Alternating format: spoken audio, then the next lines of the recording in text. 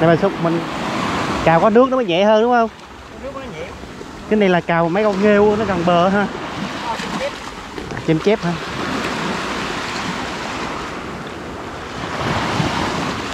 à tức là cào à, nó sẽ có chêm chép có nằm dưới đây ha.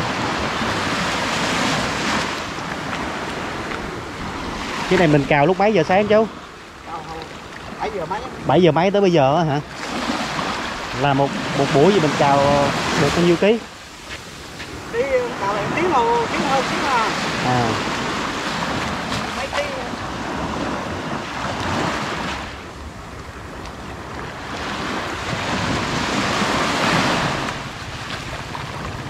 À mình đi đi một lớp trên mặt thôi ha. Không quá nó bị cá Rồi. Ở đây có rất là nhiều thuyền thúng. Thúng này chắc đi câu thôi ha chú ha. câu đủ á À. Ủa, nước. Đây là một cái vùng à, làng chài nằm à, dưới phía bậc của sát bên dốc Campuchia. À, nếu đi đường dốc Campuchia thì có một con đường bữa nay thì à, bữa nay đường ở đây như nó đổ đất hết rồi chú hả? Là à. Cái lúc trước đi là phải chạy ở dưới đây nè mà phải ờ, nước rút rồi mới chạy được phải không chú? Ở ở dưới đây nhà chú thọ là hồi đó nằm ở khúc cái phía trên không chú ha? À chú thọ. À, bây giờ mình hết rồi à. à, khi mình kéo xong là mình ờ, cho nó ra đây ha. Nó đổ. À, mình đổ ra đây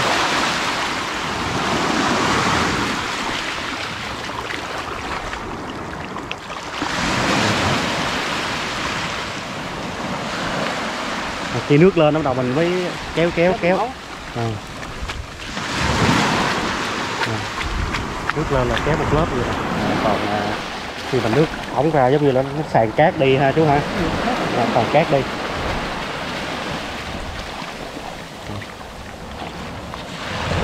Ngày nào chú không kéo gì hết hả?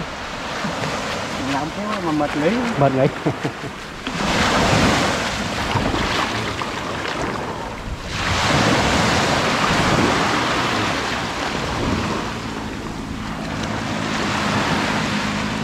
à trên đây như anh kia anh cũng kéo sao? Như thấy anh kia anh cũng có kéo ờ, đây là xe mà lúc trước là xe mới chạy vậy nè các bạn. Đó nó mù nước cứng nó mới chạy vậy. Chứ bây giờ thì ờ, bây giờ thì có đường rồi.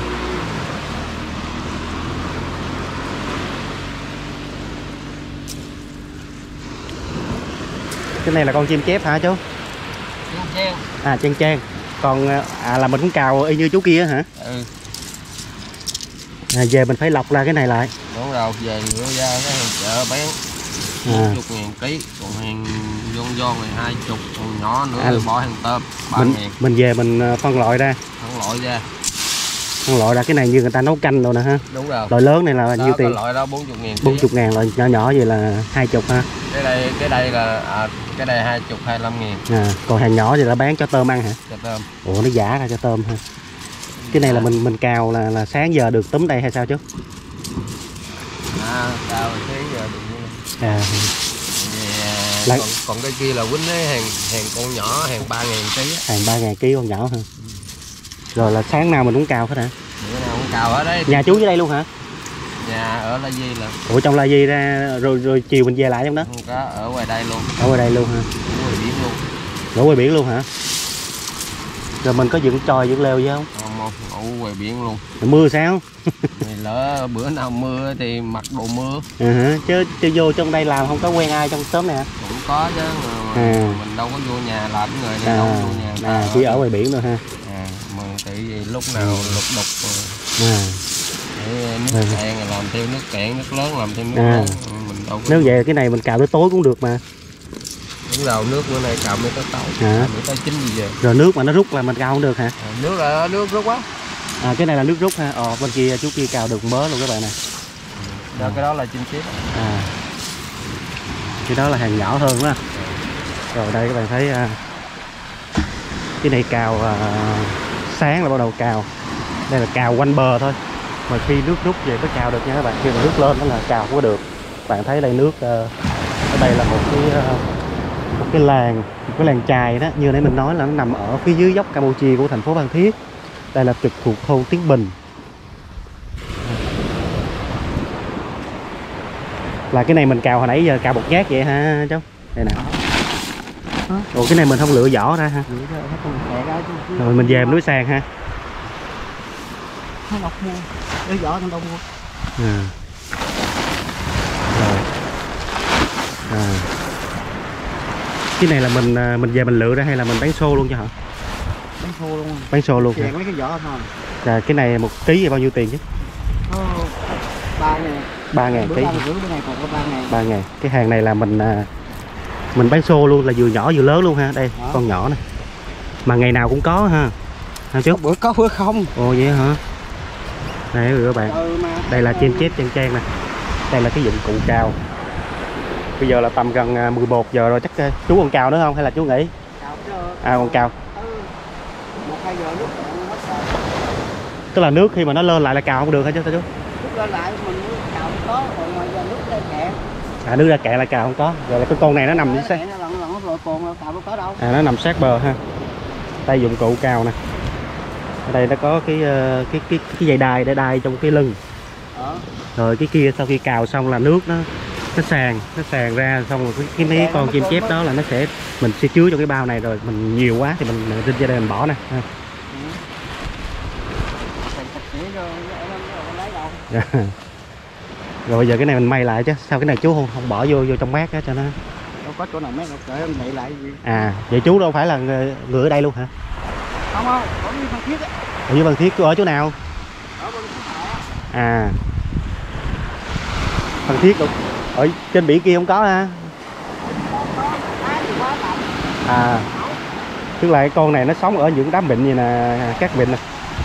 Các bệnh nè các bạn thấy không? À cát nhiều thì dễ làm. Giờ chú này còn cào thêm à, tới à, à, là đầu sáng sớm mình xuống đây mình làm. 2 giờ Tới 1 2 giờ mình Nếu về. Nếu mà nó kẹn đợi có bị chìm. À. Hết làm được. À. Ồ. Oh. Vậy là đi phải dỡ cơm đồ đi theo. Dỡ chứ. chung dầm mình xuống nước cả ngày á. À. Phải nói là mình phải có một cái sức khỏe tốt á với với với mình làm được.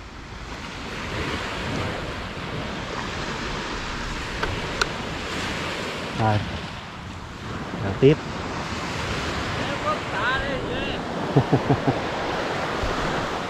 rồi mình xin phép uh, tạm dừng uh, video đây nha.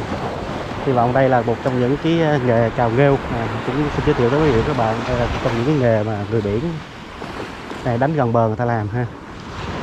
Rồi xin phép chú cháu về nha. Tôi làm tiếp ha. Dạ rồi.